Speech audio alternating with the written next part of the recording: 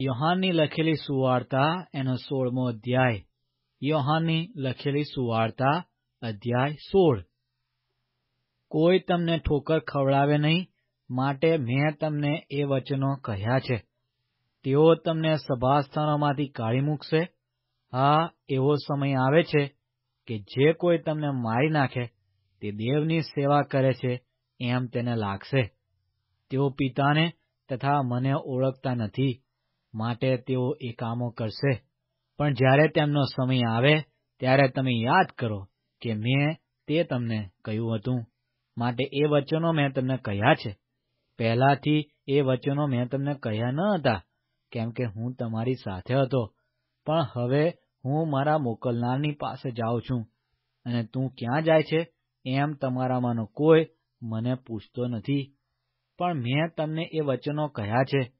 માટે તમારા મન શોકથી ભરપૂર છે, તો આ પણ હું તમને સત્ય કહું છું. મારું જવું તમને લાભકારક છે. કેમ કે જો હું નહીં જાઉં, તો સંબોધક તમારી પાસે આવશે નહીં. પણ જો હું જાઉં, તો હું તેને તમારી પાસે મોકલી દઈશ.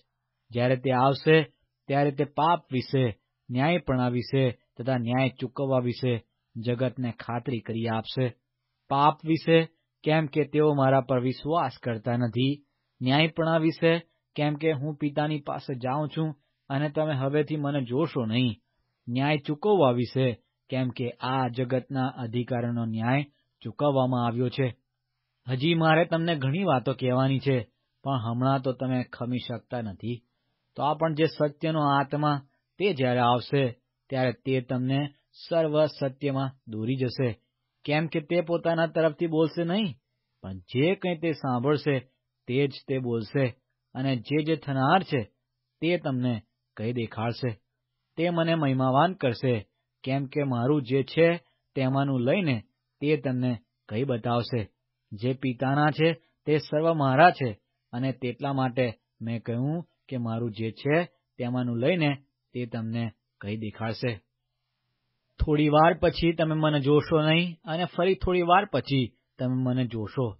એથી તેના શિષ્યોમાંના કેટલાયકે અંદરો અંદર કહ્યું થોડી વાર પછી તમે મને જોશો નહીં અને ફરી થોડી વાર પછી તમે મને જોશો. કેમ કે હું પિતાની પાસે જાઉં છું, એવું તે આપણને કહે છે, તે શું હશે?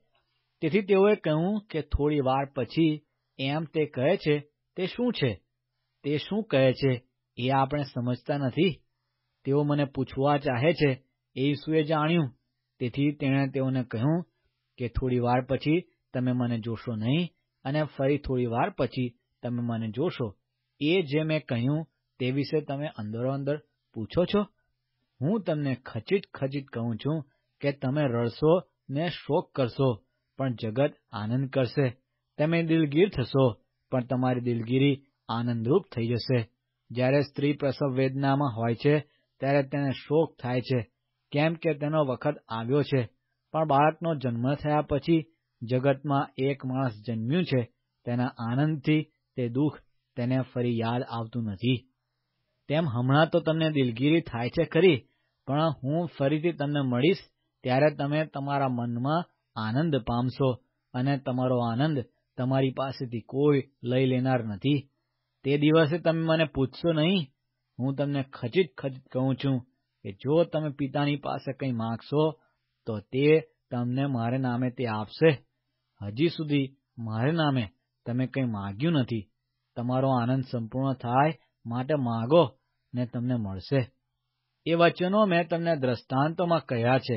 એવો સમય આવે છે કે જ્યારે દ્રષ્ટાંતોમાં હું તમારી સાથે બોલીશ નહીં, પણ હું તમને પિતા સંબંધી સ્પષ્ટ રીતે કહી દેખાડીશ. તે દિવસે મારે નામે તમે માગશો અને હું તમને એમ નથી કહેતો કે હું તમારે માટે પિતાને વિનંતી કરીશ. કેમ કે પિતા પોતે તમારા પર પ્રેમ રાખે છે. કેમ કે તમે મારા પર પ્રેમ રાખ્યો છે. અને હું દેવની પાસેથી આવ્યો છું, એવો વિશ્વાસ પણ તમે કર્યો છે. હું પિતા પાસેથી નીકળીને જગતમાં આવ્યો છું. વળી હું જગતને છોડીને પિતાની પાસે જાઉં છું. તેના શિષ્યો કહે છે કે જો તું હવે સ્પષ્ટ રીતે બોલે છે અને કંઈ દ્રષ્ટાંત કહેતો નથી. હવે અમે જાણીએ છીએ કે તું સઘળી વાતો જાણે છે ને કોઈ માણસ તને પૂછે એવી તને અગત્ય નથી. એ ઉપરથી અમે વિશ્વાસ કરીએ છીએ કે તું દેવ પાસેથી આવ્યો છે. ઈસુએ તેઓને ઉત્તર આપ્યો કે તમે શું હવે વિશ્વાસ કરો છો? જુઓ, એવી ઘડી આવે છે. હા, હમણાં આવી છે કે જ્યારે તમે દરેક માણસ પોત પોતાની તરફ વિખરાઈ જશો અને મને એકલો મૂકશો, તો પણ હું એકલો નથી. કેમ કે પિતા મારી સાથે છે. મારામાં તમને શાંતિ મળે માટે મેં તમને એ વચનો કહ્યા છે. જગતમાં તમને સંકટ છે, પણ હિંમત રાખો. જગતને મેં જીત્યું છે.